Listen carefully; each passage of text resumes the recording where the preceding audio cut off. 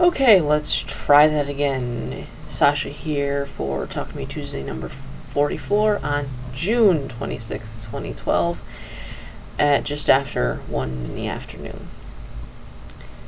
Honestly, I have not been crafty this week. I spent my whole day yesterday cleaning, and then with all the heat, we didn't really do a whole lot. But I will show you what I did do. I just have to make sure I'm holding it right. Nope, nope, nope. Uh, uh, maybe. Uh, okay, you know what? I made a starfish. That's it. that's all I did. The star's upside down, but that's because I don't remember what, wait, it went. I don't know. Made out of felt, I used a tie-dye felt on the front and I used green on the back.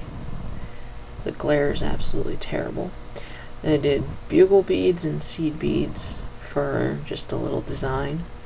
This was actually one of the patterns from the same person who did the Molly the Octopus that my mom had made.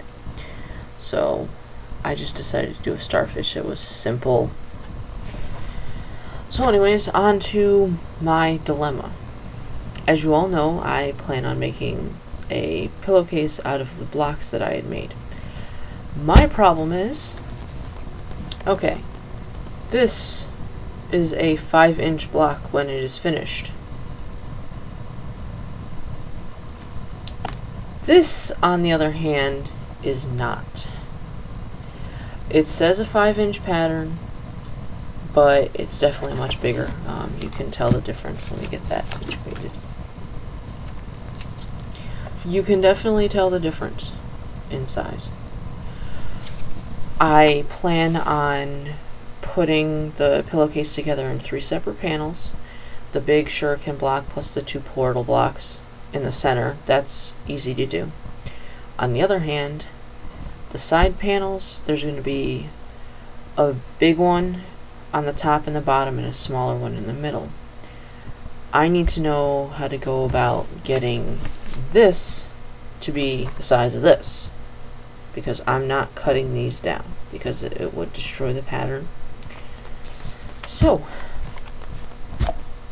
I really need to know how to go about doing that. Any suggestions, uh, message me or put them down in the comments.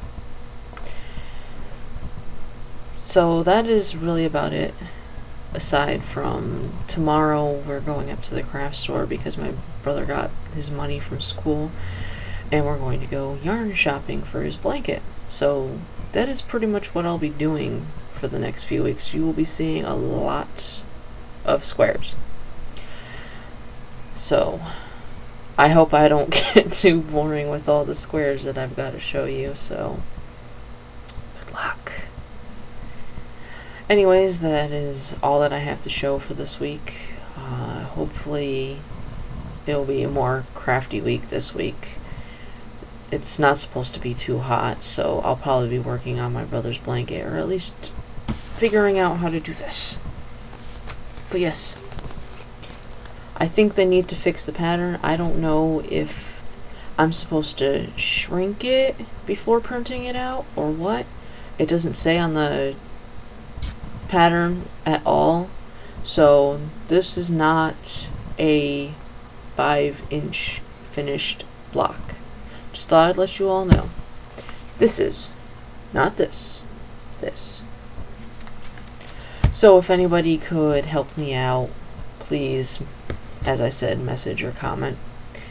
I hope everybody has a wonderfully crafty week. Hopefully it doesn't get too hot where you guys are. I will see you all next Tuesday with hopefully a bit more than this. Until then, this is Sasha.